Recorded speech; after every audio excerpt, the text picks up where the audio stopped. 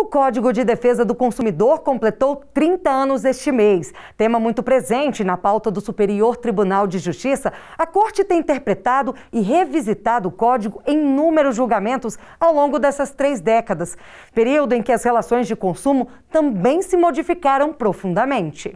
Uma lei que nasceu da necessidade de se buscar equilíbrio nas relações jurídicas de consumo.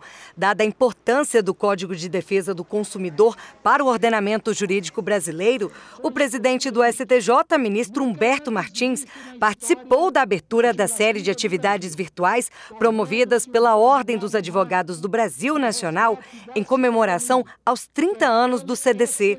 E, na oportunidade, destacou os mecanismos inovadores da lei para a proteção dos consumidores. Dentre as grandes inovações do Código, merece destaque a criação de responsabilidades para o empresário ou prestador de serviço na atuação no mercado de consumo.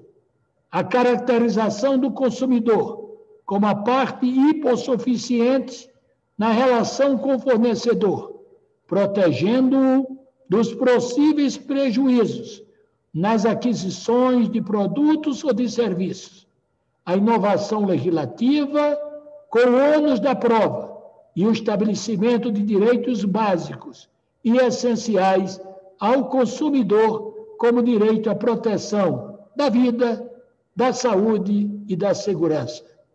Durante a aula magna que abriu o evento, o ministro do STJ, Herman Benjamin, afirmou que a edição do código permitiu a criação de um verdadeiro microsistema de proteção ao consumidor, que inclui desde temas processuais até normas na esfera penal.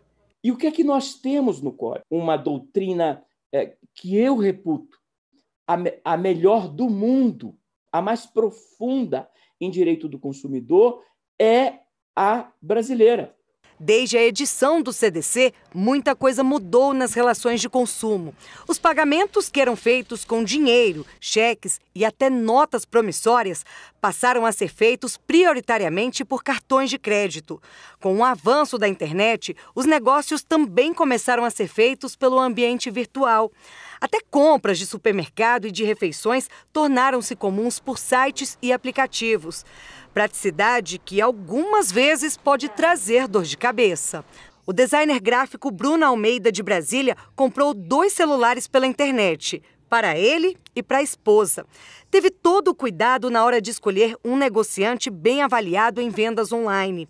Depois que fez a transferência bancária, o anúncio desapareceu. Foi aí que ele percebeu que tinha caído em um golpe. A primeira atitude que eu tomei depois do ocorrido foi a que eu achei mais lógica Peguei todas as provas do crime, imprimi. Peguei mensagens trocadas com o vendedor, o nome da loja, o print do anúncio e procurei uma delegacia de polícia perto da minha casa. Como consumidor, fica a lição: fica o prejuízo, é um dinheiro que não volta, ao lado das facilidades do consumo virtual, surgiram novos conflitos que foram parar no judiciário. A situação vivida pelo Bruno, por exemplo, de comprar e não receber, foi analisada pela terceira turma do STJ em 2016. O ponto da discussão era para saber se, caso o cliente tenha sido levado à loja virtual por meio de um buscador de produtos, esse site intermediário também seria responsável pela reparação do dano. Os ministros concluíram que o provedor de serviço de busca não participa da interação virtual que resulta na compra e, por isso, não pode ser responsabilizado pela existência de lojas que não cumprem os contratos eletrônicos ou que cometem fraudes contra os consumidores. Outro tema analisado pelo Superior Tribunal de Justiça, que envolve o direito do consumidor no mundo virtual, foi sobre a cobrança de taxa de conveniência na venda de ingressos para espetáculos culturais pela internet.